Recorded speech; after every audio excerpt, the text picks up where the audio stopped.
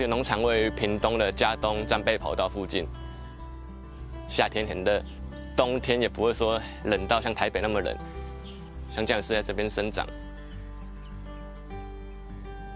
我叫林立宏，啊啊，我今年二十四岁，啊，从品科大毕业一年，然后大家在这边都叫阿宏。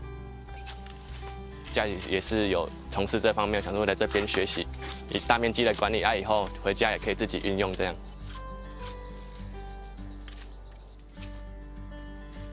我叫道静，姓林，所以我是来自马来西亚的一个人。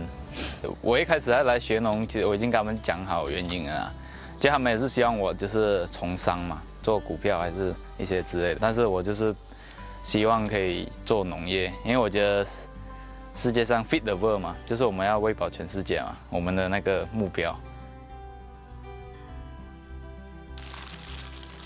香蕉这个套袋呢，让它每一层香蕉中间有一个隔层，那它在搬运的过程中可以很显著的降低它的擦压伤的发生。那最后我们外面再套上一层纸袋啊，那它这个最主要的目的是为了要防止虫害跟病害的感染。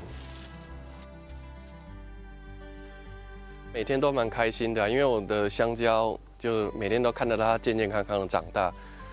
稍微的挫折是，也是那一次的雨灾啊，风它虽然台风没有进来，但是你看它的叶子都被这样削的，这样一条一条，那时候看的其实还蛮心痛的。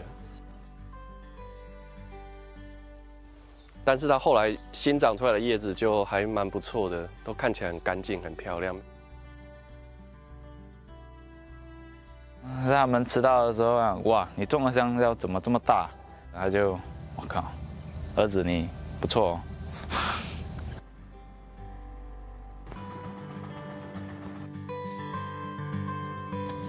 每天看着它一点一滴慢慢长大，然后自己付出的收获有得到回报，这样很有成就感。